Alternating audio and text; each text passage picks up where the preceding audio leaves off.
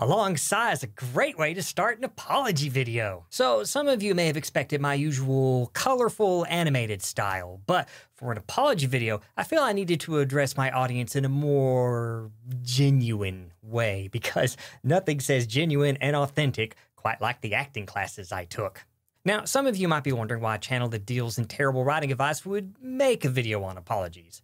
I'm just getting ahead, since I will no doubt inevitably screw up in the PR department and be forced to issue a career saving apology. Perhaps I let fly a racial slur, and only the blood of my career will sate the righteous anger of the internet's denizens. Perhaps I suffered a concussion and thought that a terrible writing advice on sexual assault tropes was a great idea. Maybe someone finally found the beaten and starving ghostwriters I keep chained up in my basement that write these episodes.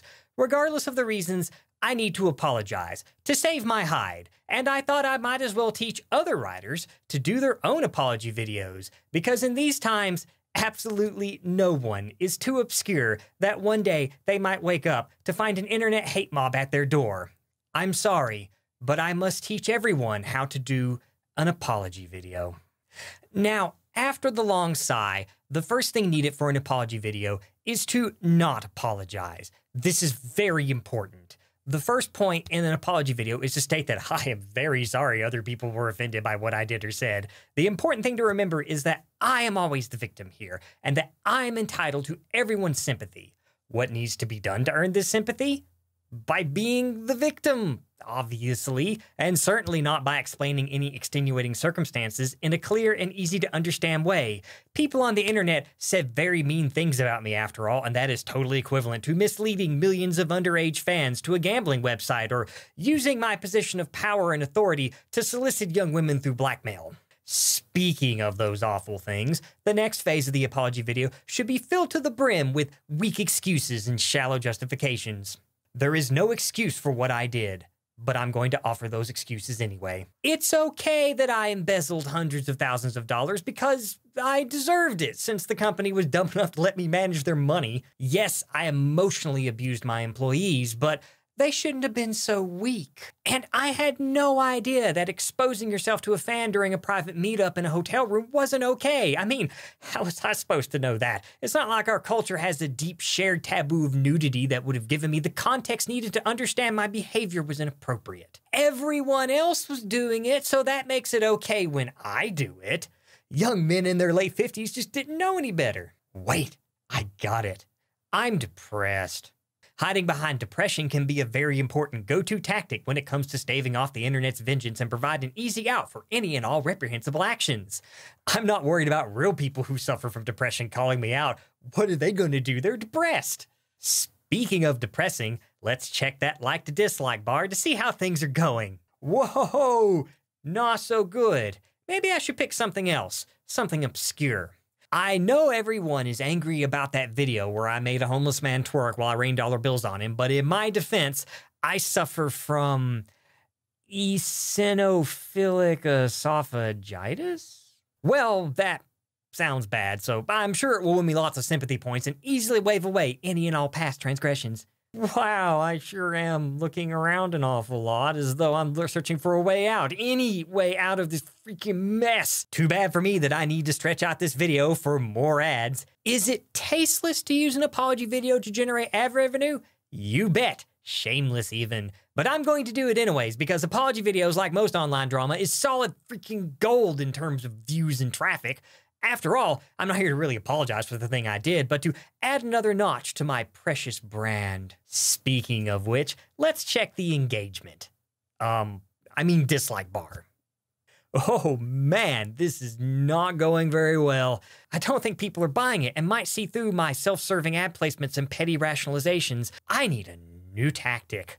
Well, what I did might be bad, but other people have done worse. See, I just deflected onto someone else. Pick another pseudo celebrity to rail against, preferably someone high profile with a lot of baggage who can make me look good in comparison. The modern world is full of awful people that can help me lower that apology bar so I can step right over it. Yes, whatever my transgression is will not be erased, but that's not the point. The point is to distract everyone. This can also just as easily be accomplished by talking about some other greater societal ill or problem. Just remember to not accidentally and concisely frame your transgressions against real problems in a way that sets everything into perspective. The goal is to deflect externally, not reflect internally. That not working? Well, that's just the first punch. Now for the follow up. You see, I may be an immoral scumbag who did something unspeakable, but I intend to use this experience to grow as a person. You see, I learned a lot about not getting caught and where I need to look to improve myself and to help those around me. I am truly awakened to the full harm I have caused and will change for the better. I mean, I won't, but that doesn't sound as good.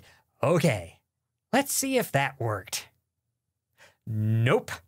I need to break out the big guns. Better bring on the tears. Crocodile tears is the best bet for swaying the audience. Bawling like a bratty child is an instant method to win over a group of people sick of your immature antics.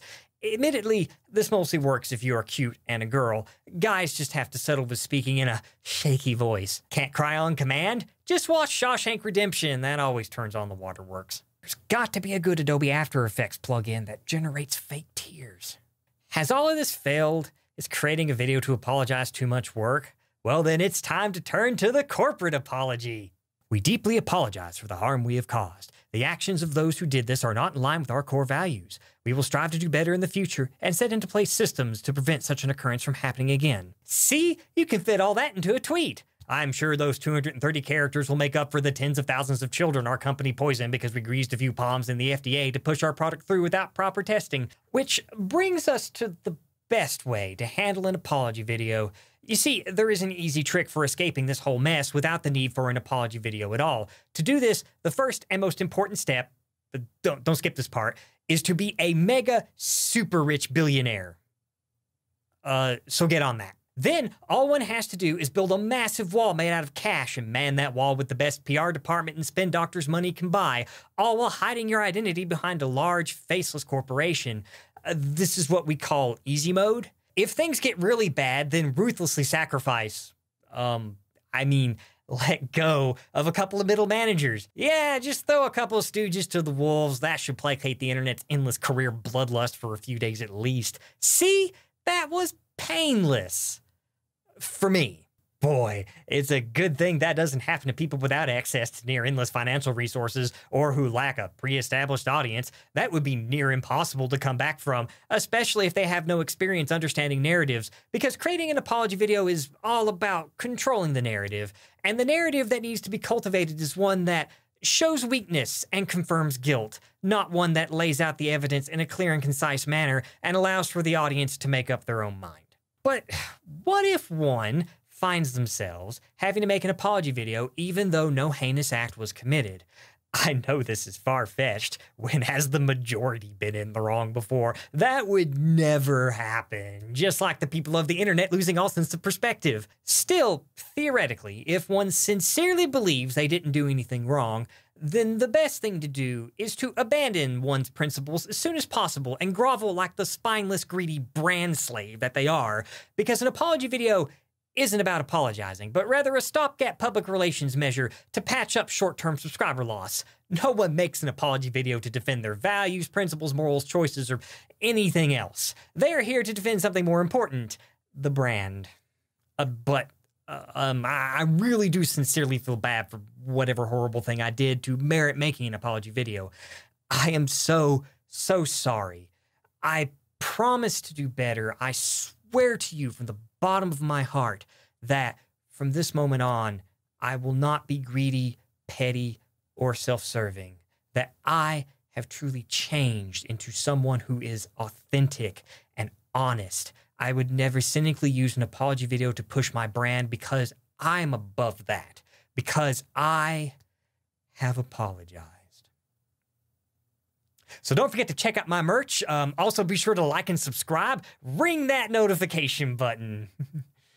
Should I have spaced those out a little more?